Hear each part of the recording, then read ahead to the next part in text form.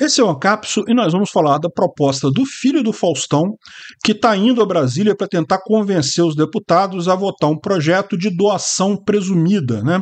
É, o que, que, é isso? Né? Doação de órgãos, vocês sabem, é uma coisa muito importante. Quando a pessoa morre, a, a família tem que autorizar a doação dos órgãos, e é, isso é um processo complicado, porque né, no momento que a, a família está passando por uma dor muito grande de ter perdido aquele parente, o pai, o irmão, o filho, a, a mulher, a irmã, a filha, é, naquele momento de dor ali, da, de perda, as pessoas têm que autorizar a doação de órgãos. E pior, né? Porque o que, que acontece muitas vezes? A doação tem que ser feita quando a pessoa ainda está com o coração batendo. A pessoa está morta, com morte cerebral, mas ainda está com o coração batendo. Aí você tem que explicar para a família que, olha só, ele está com o coração batendo, mas ele teve morte cerebral.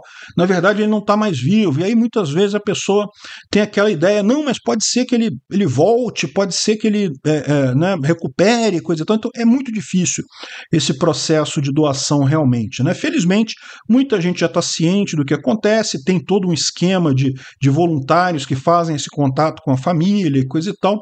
Então se consegue muita doação, mas ainda é muito aquém do, do necessário aqui no Brasil. Vamos falar sobre isso? Essa notícia foi sugerida por um monte de gente lá no arroba Ancapsubot, lá no Twitter. Eu agradeço a todo mundo que sugeriu as notícias lá. Eu estou sem o meu sistema aqui para acreditar as notícias, mas eu agradeço a todo mundo que sugeriu e agradeço também a você que está assistindo o nosso vídeo. Se você gosta do nosso conteúdo, por favor, deixe o seu like e se inscreva aqui no canal. Né? Pois bem, recentemente, vocês sabem, o Faustão, grande apresentador de televisão, passou por um transplante de coração e felizmente está vivo novo, tá bem, coisa e tal. E é, foi um transplante que aconteceu muito rápido, levantou algumas suspeitas de favorecimento, mas ninguém teve informação de nada. Então, em princípio, tá tudo certo ali com o transplante dele. Que bom que ele conseguiu esse transplante num tempo hábil para salvar a vida dele, né? Infelizmente, no Brasil existe uma dificuldade muito grande nesse caso. Muita gente acaba morrendo na fila aguardando transplante de coração, de, de, de um monte de outras coisas aí, de rins, de fígado, de um monte de coisa, né? E é, é um problema, um dos problemas que você tem nisso é justamente a questão da doação desses órgãos. Né? As pessoas elas podem, se elas quiserem, deixar registrado na própria identidade que elas são doadoras de órgão e coisa e tal. E também podem deixar registrado na identidade que não são doadoras de órgão, que não querem doar o órgão. Mas, independente do que está na sua carteira de identidade, quem vai dar a palavra final vão ser os seus familiares. Né? E aí que tem uma parte do problema justamente é, você abordar a família naquele momento de dor que ela perdeu uma pessoa e coisa e tal. E como eu disse, né, a pessoa ainda está com o coração batendo, né? Porque para você fazer um transplante de coração não pode ter parado, tem que estar tá com o coração batendo ainda. Só teve a morte cerebral, né? Então é, é, é uma coisa complicada realmente isso daí. Felizmente, muita gente aceita, é, muitos transplantes acontecem, Infelizmente, é, nem, nem, tantas pessoas assim aceitam, muita gente acaba não conseguindo o ok da família, muitas vezes não acaba, acaba se não conseguindo o ok da família a tempo, justamente porque por isso, pela lei brasileira, você tem que ter esse ok da família para a doação. Então, essa é a situação. É, o e do ponto de vista da ética libertária, isso está correto do jeito que está hoje, tá? Porque, veja, você é dono do seu corpo, evidentemente, mas no momento que você morreu, você não é mais nada, você deixou de ser um ser humano, você deixou de ser uma pessoa com direitos. Né? Então, é, o que acontece pela ética libertária, você é agora dos seus herdeiros, da sua família.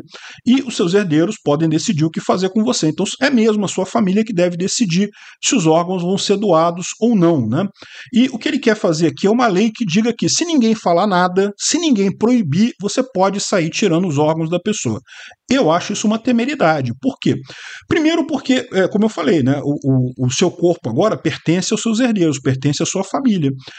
Como é que o médico vai querer, se não tem informação, já tirar o órgão e coisa e tal? E se depois você, depois que entrar em contato com a família, a família falar, não, mas ele tinha uma religião que impede isso e coisa e tal, ele não queria doar e coisa e tal? É, é muito estranha essa história de doação presumida, né? Eu, por exemplo, eu durante muito tempo tive minha informação na carteira dizendo que eu era doador, né? Mas eu estou pensando em mudar isso, porque eu fico imaginando, imagina que eu salvo a vida do Lula. Imagina que eu morro amanhã e, o meu transplante de coração ajuda o Lula. Não, não, não quero não. Não, não vou doar porcaria nenhuma de órgão para ninguém. Vai que eu salvo algum petista, salvo Flávio Dino da vida. Não, não quero doar não. Que foda-se esse pessoal, quero que morram todos eles. Então, no final das contas, é, é, é uma decisão pessoal, é uma decisão da família no final das contas, né? Então, acho um erro isso daqui. E o pior, para para pensar o que, que significa a doação presumida. Se eles não conseguirem entrar em contato com a família, eles vão presumir que você é doador. Olha o quão artroz é isso, porque isso vai facilitar para o médico, no final das contas, ele, ele vai procurar a família. Né? Hoje você tem equipes de voluntários que fazem justamente nos hospitais esse primeiro contato com as famílias, pra, né? porque é um contato que tem, todo, tem que ter todo um cuidado para você falar. A família está sentindo muita dor, está né? Tá num momento muito delicado, então você tem que falar com cuidado. Então já tem todo um grupo para entrar em contato para conseguir o ok, conseguir o ok da, da, da doação de órgão. Né? Imagina no futuro você. É, o, o, o, hospital não vai correr atrás, é lógico que não. Se não conseguir nada, a doação é presumida, então não vou falar com ninguém, vou ficar quietinho, deixa para falar depois que já tirou os órgãos todos, né? Olha o absurdo. E outro absurdo dessa história é o seguinte: é que uh, o maior problema no Brasil nem é falta de doação. Tem muita gente que doa e o órgão acaba apodrecendo porque não teve uh, ambulância para levar o órgão para o lugar certo, não teve avião para levar o paciente, o órgão, não conseguiram fazer a logística para juntar uma coisa com a outra, e aí acaba você doa o coração, doa o fígado, doa o rim e vai tudo para o lixo no final das contas, porque a, a, estrutura do SUS brasileira, que é orientada à propina em licitação, não, não atende essa necessidade de, de fazer a, o transplante.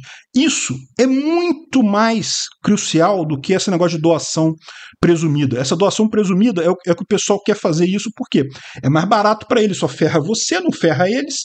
Né? Para fazer o SUS funcionar, fazer a parte de doação realmente funcionar, sem ter grana, né? Porque, por exemplo, no caso do Faustão, ah, precisa trazer um coração de Manaus para São Paulo, coisa e tal. Vamos supor, por hipótese, né? Faustão faz o checão lá, meu amigo, bota um Boeing para vir de lá para cá, se for o caso, e pronto, né? Resolve o problema. O problema é que não tem dinheiro, que não tem grana para bancar um avião para trazer o órgão de não sei aonde para não sei aonde. E é nisso que está o problema. É aí que está o gargalo aqui no Brasil. Não é na doação de órgãos. É lógico, se tivesse mais doação seria melhor. Mas no final das contas, o grande gargalo é esse. O grande gargalo é justamente essa logística de você é, é, conseguir levar os órgãos é, de forma adequada, fazer o transplante e coisa e tal. É isso que, que importa. Isso daqui é mais uma maneira do governo tirar a culpa dele. Né? Ai, o SUS não faz tantas, tantas transplantes porque as pessoas não doam os órgãos. Não, não é por isso não. É porque o, o SUS gasta dinheiro pra caramba em licitação, que é só para corrupção mesmo. Esse é o grande objetivo do SUS. O SUS é uma máquina de fazer licitação. É isso que é o SUS. O SUS é um grande processo de licitação. O pessoal ganha muito dinheiro, meu amigo. Tu não faz ideia do quanto se ganha de dinheiro no SUS. E aí, na né, licitação, sabe como é que é, né? Sempre tem lá os 10%, 20%, 30%, sabe lá quantos por cento, que vai lá para o bolso da galera. Então, essa festa de ganhar dinheiro em cima do SUS, e aí as coisas não funcionam, você não tem um sistema efetivamente funcional para isso, né? Eu não sou doador não, tá? Eu não quero salvar petista não. Você pode falar assim: "Ah, mas e o petista? Pode ser que um petista salve você e coisa e tal, você tá querendo não doar para petista e coisa e tal". Não, petista é tudo drogado, porra. O petista não vai ajudar ninguém no final das contas, eu não. Ah, se, se for para bolsonarista, eu, eu, eu, deixo doar, eu, eu autorizo a doação. Se for para petista, não autorizo. E se for para isentão também não, tá? Isentão é, é tão culpado quanto petista. Mas a solução real para esse tipo de coisa é muito simples. A solução é libertária, é o mercado de órgãos. Isso resolveria esse problema. Cara, no momento que você tiver um mercado de órgãos para doação, resolve-se esse problema imediatamente. Porque aí, quando você a família perdeu um ente querido e coisa e tal, e você quiser falar sobre a possibilidade de doação e coisa e tal, você vai botar um preço nisso. Você vai falar: olha, vocês vão ganhar, sei lá, 10 mil reais, 20 mil reais, não sei o que lá Muda toda a história, né? E por outro lado, quando a família da pessoa que está precisando do órgão é, vai ter que pagar 20 mil reais por aquele órgão, aí ela vai ter toda uma estrutura de custo para também fazer isso, né? Ela vai querer, evidentemente, trazer o avião, trazer o helicóptero, dar um jeito desse órgão chegar do outro lado para aproveitar o valor dele que está lá. É, esse negócio é, é, é mercado resolve problemas. Ah, mas é, é antiético, não sei o que lá, eu acho um absurdo, não pode dar valor à vida humana. Meu amigo, tudo tem valor. Tudo tem. A vida humana tem valor. Tem valor sim, não tem como fugir disso. Tudo tem valor. Qualquer coisa escassa tem valor no mercado. Obrigado por assistir o vídeo até o final. Além de curtir, compartilhar e se inscrever no canal, considere se tornar patrocinador com valores a partir de R$ 1,99 clique no botão Seja Membro abaixo para saber as condições e vantagens de patrocinar o canal. Mais informações sobre o nosso projeto, visite nossos sites indicados na tela.